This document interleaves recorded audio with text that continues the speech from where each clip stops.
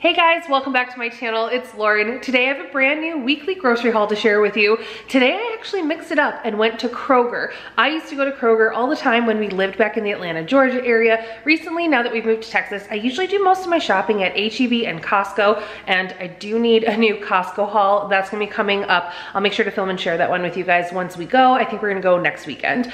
Um, but we are in between Costco runs. I am like out of everything in our fridge, freezer, and pantry. It's been a really crazy couple of weeks. I haven't been able to get over to the grocery store, so we've kind of gone through a lot of stuff. But with it being crazy, I also just like have not had the mental state to figure out like two weeks worth of groceries, huge haul. So this is just a weekly grocery haul because that's all I had the capacity to was to figure out was for one week. So I popped over into Kroger after I dropped Lila off at school first thing this morning. So let's do a rundown of the grocery haul. And like I've been doing in the last few grocery haul videos, I'm gonna share my weekly meal plan, including WW points for you guys at the end of the video. We still had a little bit of fruit and veggies left in the fridge um, from my quick run last week. I still have some apples, I still have some baby carrots and fresh broccoli, but here's what I got to kind of round out for this week. I have some seedless red grapes. These were on a pretty good sale at Kroger today. These raspberries were on a great sale. They were not on my list, but they were only like a dollar sixty-five, I think, for the carton. My husband requested some of these mandarin oranges this week. I have a large bag of carrots, even though we have some baby carrots in the fridge. I always think these big whole carrots taste better. It does take the work of peeling them and chopping them and all that, but I'm also going to be doing some meal prep this week, so just add that to the list for meal prep. I have a bunch of green onions and I made sure to get ones that have the little roots at the bottom because I think if you guys have seen my other meal prep videos, when I buy green onions, these will last me a number of weeks, if not longer, if you take care of them and you can drop them into a little cup or jar with a little bit of water covering the roots and these will keep growing. Even after you trim them and use them, new ones will sprout out of these same ones if you have roots left on the bottoms. I have one English cucumber. That's going to be with a pasta salad I'm doing this week for meal prep. Um, along with that, some tricolor bell peppers and a green bell pepper. I have a red onion and a sweet yellow onion. This bag got kind of ripped because Nora was my helper at the store and she wanted to hold potatoes. So she held the potato bag. Look at how big these russet potatoes are. These are absolutely massive. We are going to do some baked potatoes one night for dinner this week, like loaded baked potatoes. So I only bought two because I feel like we'll share these between the four of us. It's my husband and I are two adults and then we have a six year old and an almost two year old. So they don't need a potato that size for dinner. So, and we'll do like veggies and other kinds of stuff on the side too that night. I did grab one um, bakery bread. I keep saying I'm to try making sandwich bread. If you guys follow along with me, I make tons of my own bread products at home. I'm a sourdough baker, but for some reason I still haven't tried making like a basic soft white or honey sandwich bread. And I really need to try it. I don't know why I keep being intimidated by it. It's like the one thing that I haven't been doing, but we're going to try in the meal prep this week. I'm good. I'm putting it out here on this video to make myself do it. We're going to try a sandwich bread recipe at home this week during meal prep. I also got some garlic hummus. My kids love hummus. I swear it's one of their main sources of protein. I did purchase some Chinese lo mein noodles. I am gonna make some stir fry lo mein with chicken as a dinner one night this week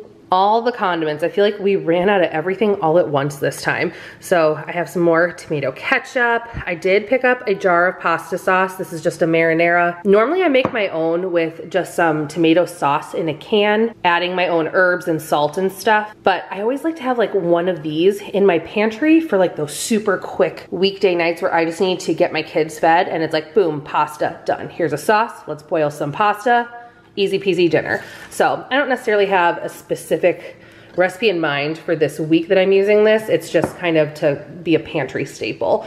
Um, anyway, I have some Frank's Red Hot sauce. I'm gonna use that in some buffalo blue salads this week for dinner for Josh and I. Some low sodium soy sauce, as well as some teriyaki sauce. For canned items, I like to always have at least two cans of black beans and two cans of corn in my pantry. I also picked up one can of cream style corn because one of these plus one of these and a few other ingredients and some Jiffy cornbread mix make a delicious cornbread or corn pudding and I'll use that um, on one of our weeknight meals as a side dish. I also picked up some jumbo pitted ripe olives.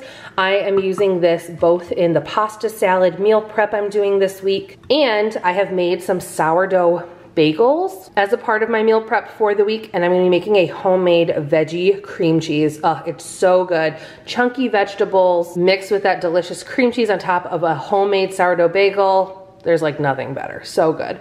Um, I also have some buttermilk blue blue cheese crumbles. That's for that buffalo blue salad we're doing. Lunch meat, I have some salami, which my kids like to eat salami, cheese, and crackers, like a DIY Lunchable um, for lunches or to bring to school. I also am gonna use some of this in the pasta salad. We're doing an Italian style pasta salad this week. I have some turkey breast for lunch meat sandwiches, and for my little one, she likes just having pieces of turkey and cheese with crackers and fruit and stuff for lunch a lot. And then I still had some provolone cheese in the fridge um, from over the weekend, but I also picked up a package of Swiss cheese. I got a brick of extra sharp cheddar cheese as well as a brick of part skim mozzarella. We'll use those for some of the recipes this week and then a six pack of Danimal smoothies. My girls call these sippy yogurts. And again, these are just like kind of for on the side with their picky plate lunches. Since I bought sandwich stuff, I also picked up, um, these are some classic wavy original potato chips and then some sweet barbecue potato chips.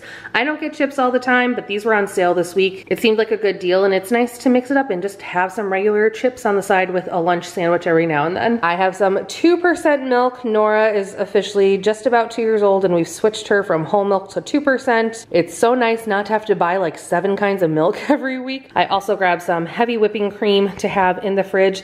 I don't actually have a specific use in mind for that. That's just like one of those staples I like having in my refrigerator. The one thing about switching back to Kroger after I've been shopping at HEB a lot was a little bit of disappointment in the meat section. I just found they had way fewer options and it was way more expensive. So I only bought a large family pack of boneless, skinless chicken breast. This is primarily what I need for my recipes. This week it is kind of like a chicken week, but I am leaving a space on the weekend when Josh is home he has a couple later nights working this week, so he's not gonna be home for dinner every single night. So over the weekend, once he's home, we'll do maybe like steak or some sort of beef, and I'll just run out separately to HEB to pick that up for that night. And then I have some of these Tyson air fried crispy chicken nuggets. Um, we're normally a Bare chicken nuggets family, but again, we need to get back to Costco. And I just, every time I look at the Bare chicken nuggets in a regular grocery store, the price compared to the amount that you get and the like pound or ounceage on the bag just seems so silly compared to buying it at Costco. So I don't know why I can't ever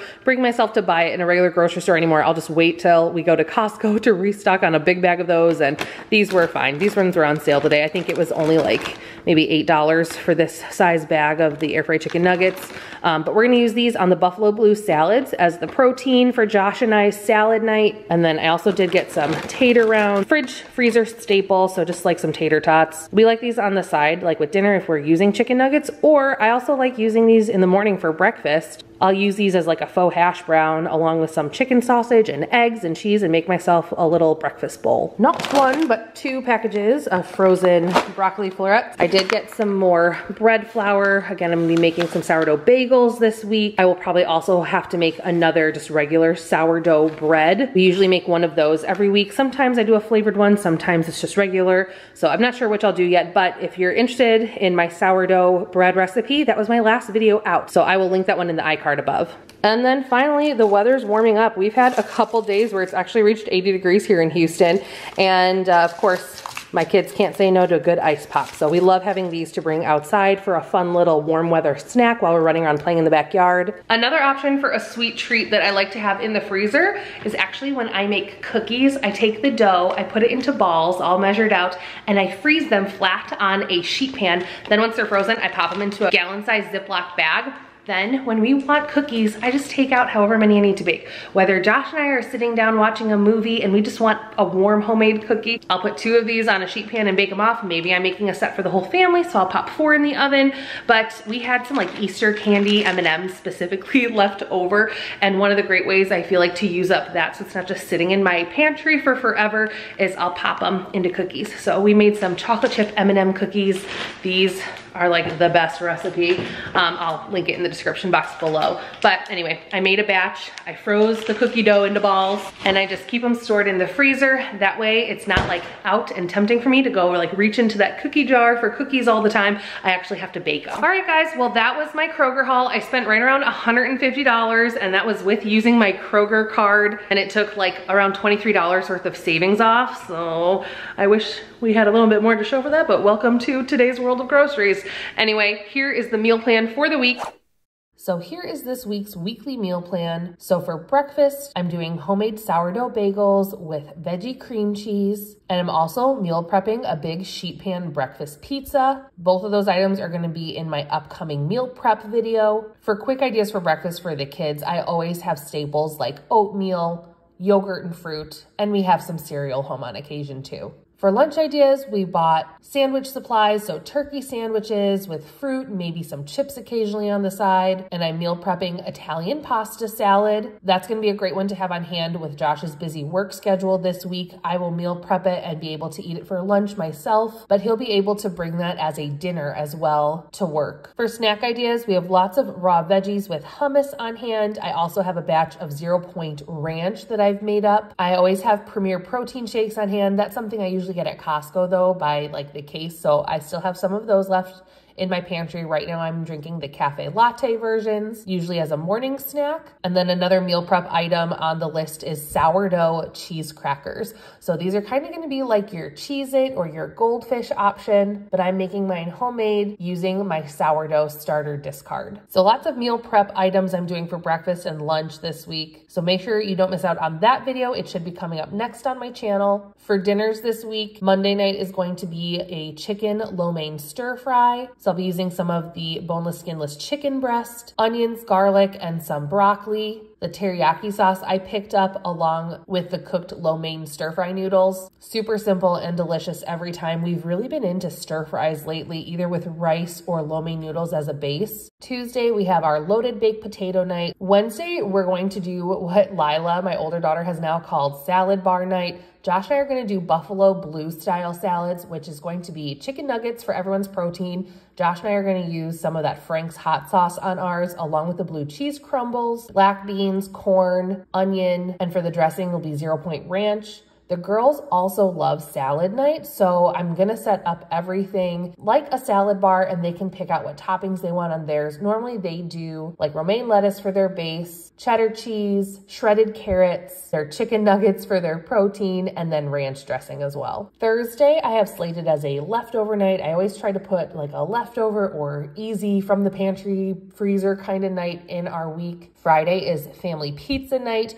We are gonna do our own homemade pizza crust using two ingredient dough. My version, I like to just do equal parts, like one cup of plain non-fat Greek yogurt to one cup of self-rising flour. We just mix that together, press it out on top of a piece of parchment paper on a sheet pan. I like to go ahead and like pre-bake mine for about 10 minutes and then we add on our sauce, cheese, and toppings. The girls love helping me. Dinner as a family together. Usually we'll follow it up with family movie night. It's a fun night for everyone. Saturday evening, we're gonna do burgers, enjoy some of this nice weather we're having. Maybe we'll eat outside. And then Sunday, one of our new family fave rotational meals is actually meatball sliders. So I make some homemade turkey meatballs and marinara sauce I cut up hot dog buns into two or three equal parts and we pop one meatball on each portion of the bun and you got little slider rolls. You can also use Hawaiian rolls, but I think this meal came together for us because I was looking for a way to use up some extra hot dog buns. This was something we kind of threw together, but it was something that stuck and the kids really liked it.